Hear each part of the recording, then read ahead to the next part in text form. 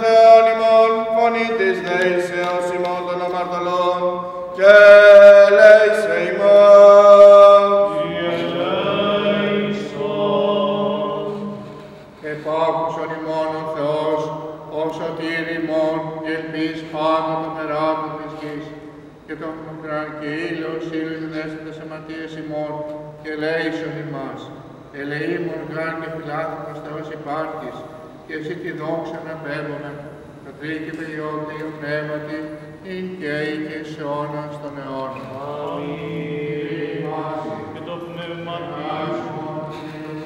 Κύριε, Δέσποτα πολυέλε, Κύριε σου Χριστέ ο Θεός ημών, πρεσβείες Πανεχρόνου, θεσπίνης ημών Θεοτόκου και Παρθένου Μαρίας, την άμμο τιμίου και ζωπίου Σταυρού, προστασίες, τιμίων ουρανίων δυνάμεων σωμάτων, καΐνη Γαβρίλ και πάντων Αγίων σωμάτων, οικεσίες τιμία δόξου προφήτου προδρόμου και βαπτιστού Ιωάννου, των Αγίων δόξου και πανεπίμων Αποστόλων, Αγία δόξα καλή των μαρτύρων αμαρτίων των Ασίων και των φορών πατέρων μόνο.